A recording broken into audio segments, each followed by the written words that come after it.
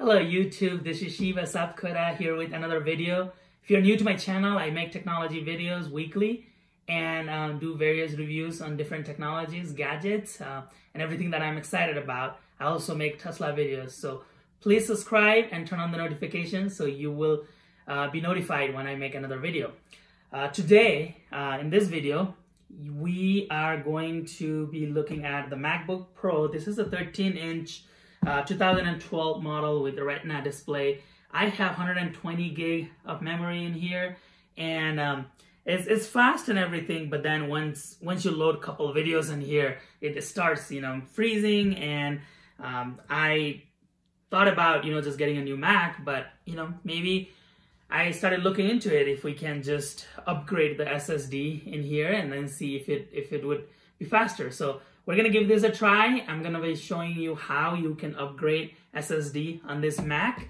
Um, this is the Aura SSD upgrade from um, the OWC, the Other World Computing. This is a 500 gig SSD and it comes with all the tools um, to to be able to replace uh, for this MacBook Pro. Uh, and just remember, they have they this company has SSD upgrade for all Mac products. So any year, just make sure that you get the right one. Mine is a 2012 version, so I purchased this. Um, but whatever whatever version that you have, um, you can get it from this website. Um, so let's dive into it. Let's see what the the packaging has. Um, this is the SSD itself. Uh, they packaged in a really nice case right here. So we will um, keep this in a in a case for now. There is uh, uh, kind of a easy to use instructions over here. We'll put this aside. This this kit has the SSD drive. So the, the drive that you're gonna take out from this computer, you can put it in um, in here. Right here, it says factory, Apple factory SSD only. And you will be able to put it right here and use it as a regular um, drive, ex external SSD drive, uh, whatever comes out of this one. So we will put this aside for now. And then, and they send you in a nice baggie so you can carry it around. They also have the SSD drive, uh, hard drive SSD drive reader. So this one, this cable, you will be able to connect to the Mac later on to read your um, OEM SSD from the Mac.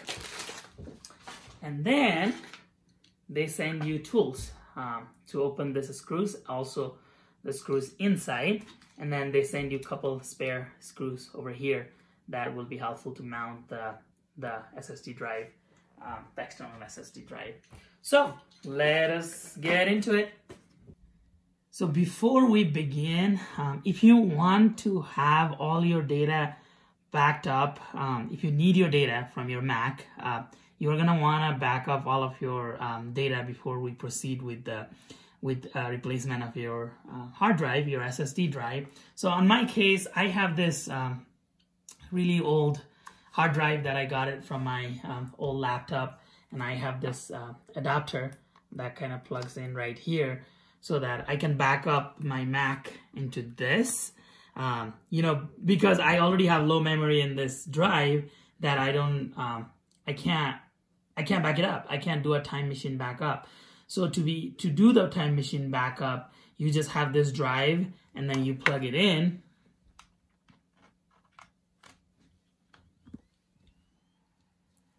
So it recognizes that the drive has been plugged in. And then right here, I, I named it as a MacBook backup. So uh, that drive is here.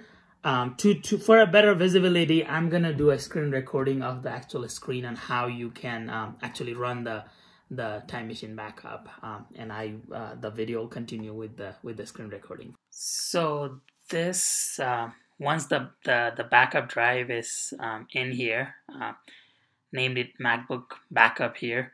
What you want to do is go over here and then do um, time time machine. So when you click on time machine, this screen comes up. You can do a backup automatically or you can just do select a backup disk and right here the MacBook backup this is the drive over here you can do use disk and then it will say do you want to erase the backup Mac MacBook backup? Because it needs to erase before it can format it in a usable format for time machine backup. So you say yes erase. And then when you're erasing it it goes out of this view for a little bit.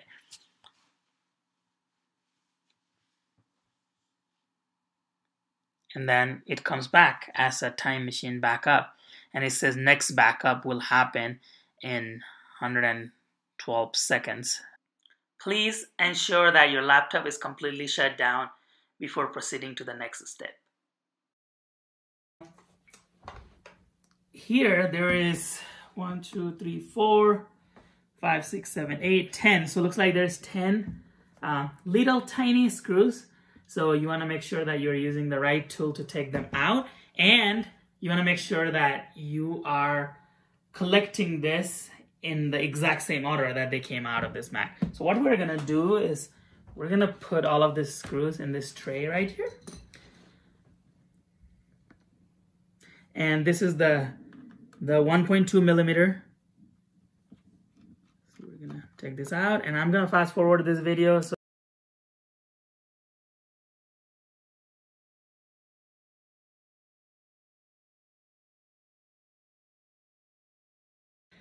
So now this this can be the the external plate can be removed. Once inside, this is your power supply that you are gonna want to remove. Now, kind of peel this gently. I recommend pushing it over here so you don't pull it too much. And over here, as you can see, there is this three screws that you're gonna take your T5 screw and take those out.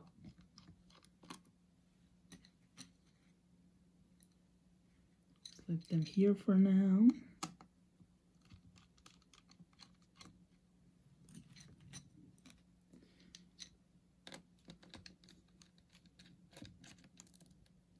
This one has a thick barrel, so you're gonna have to kind of pull it manually. This one needs to be kind of pried out, and then once this plastic tab is replaced, there is a thick silver screw over here. Let's put that in. Now, this the power supply is out, so you don't have to worry about the power supply here. What we're gonna do is now you can replace remove this um, connector tab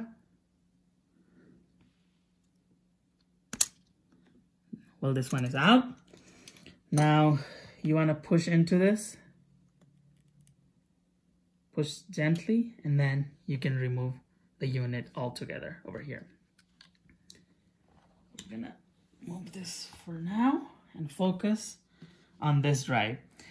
So you're gonna take your um, T5 and then unscrew this is screw over here and you're going to take a plastic pry tool kind of gently tug in here to remove this unit. So you kind of have to pull it back a little bit and this is the SSD unit the that came with Apple um, the OEM SSD unit. Now that we have removed the original SSD we're gonna take out our new SSD the Aura right here. And you see there is a little notch over here that, that kind of aligns with this notch over in the, the, the SSD drive port.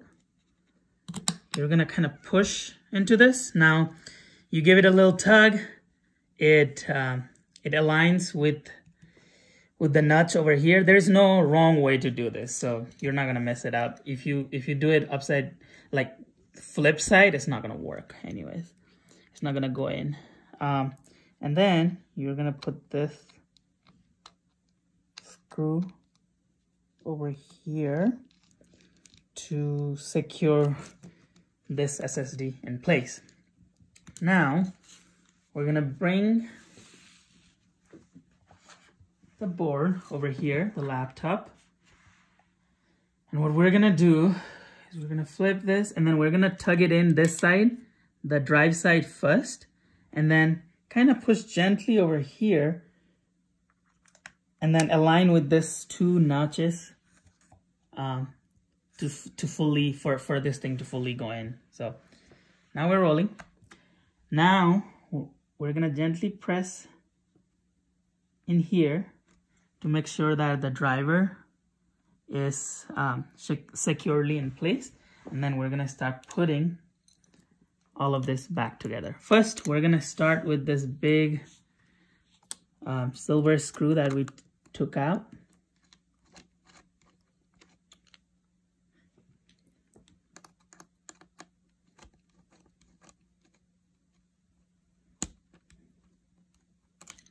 Now that is secure in place.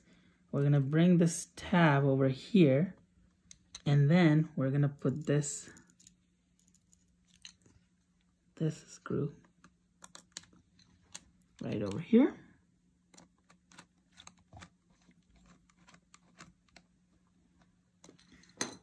have that secured in place. Now we're going to put this screw that goes right here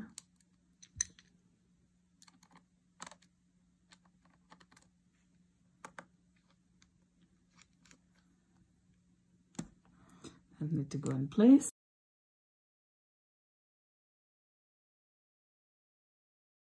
Make sure this was secure and this was secure. Now we are ready to put the back plate. We're gonna align this. Now, after you have installed your new hard drive, uh, when you open it up, first you are gonna wanna, um, it is gonna go through a recovery mode, what is called recovery mode. Uh, and since the laptop was connected to internet, it will do an internet recovery mode. So what we need to do is we need to press the power button. So when you press the power button right here, you want to put command R right away when the when the thing is booting so you want to hold on to command R and then it goes through the internet recovery options. There you go. So it says starting internet recovery this may take a while. It is trying to do a recovery of the OS using the internet. So you when you when you press on the the command R and you go to the internet recovery, you get to this screen right here. This is where you can restore from a time machine backup, or you can just reinstall your Mac OS X. Um, in my case, we had originally backed up in this uh, based on the earlier video. So this has a time machine backup of the the the original SSD drive that I had in my Mac. All you have to do is plug this in. And then you do restore from time machine backup. And then when you do continue, it'll it'll it'll ask like important information, you know, all of that. And then when if you continue, it, it searches for which backup. So from here, you just follow the instructions and restoring your system it will go through it will probably take several hours depending on how much data that you have and it will restore your system so we're to install the envoy pro that came with the kit uh, over here this is the booklet it, it, it explains how to install um, the envoy pro with the ssd that you just took out from your mac here is the the envoy pro the housing and here is the SSD drive that we just took out from the MacBook Pro. So what are we gonna do?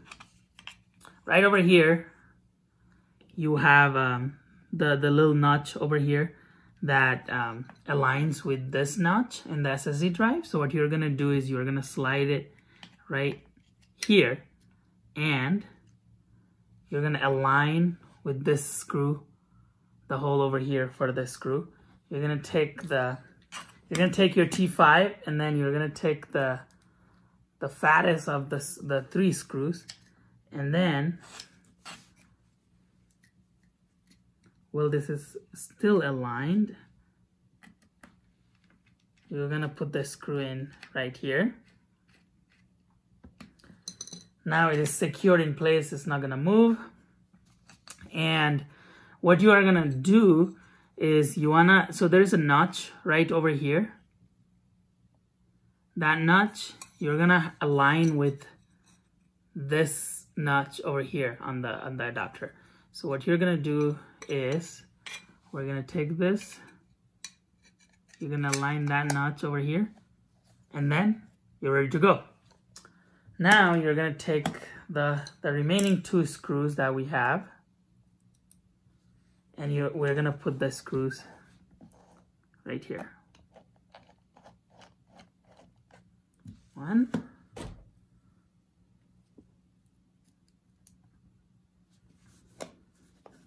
and then the other one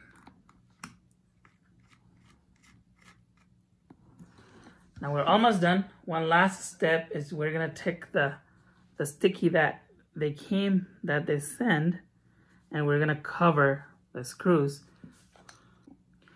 now that you put the sticky over here, it looks like you there was never any screws over here. And then this is your SSD enclosure and there is 128 gig. In my case, there's 128 gig inside here. What you do now is there's the, the outlet over here and then you wanna plug in the SSD cable that came with it. Right over here. Now it is, is plugged in and then here's your USB drive on the other side. I mean the USB cord on the other side that just plugs into any USB outlet. And there you go, you're ready to go. There is your extra SSD drive with its own enclosure that you can use it as just an external drive. Um, so in my case, I got an extra 128 gig out of doing a replacement of my SSD upgrade using the, the Envoy Pro kit that came with the uh, the Aura SSD upgrade from the Other World Computing. It was super easy to do all of this. Uh, I had never opened a Mac before, so this was this was I, I followed the instructions that were provided in the website through this all of this reading material, and I was able to pull this off just fine. And my Mac is working great. So I extremely highly recommend this kit uh, for anyone that is looking to make their Mac faster, as well as, you know, just have more memory in here. Rather than trying to go, go going to spend more money on buying new Mac, I suggest that you try an upgrade on your SSD. Thank you for watching this video. Uh, I hope if you found it helpful. If you did find it helpful, please give it a thumbs up and please don't forget to subscribe to my channel and turn on the notification so that you'll be notified for my future videos. On the comment, please um, let me know what I can improve on or what other videos that you would like to see in the future so that I can make those videos for you. This is how you upgrade your SSD or your hard drive in your MacBook Pro with the Retina display on this case and um, how you get an extra SSD drive out of it as well. Uh, please uh, let me know if there is uh, any feedback that you have. And I really, really appreciate your time. Thank you very much.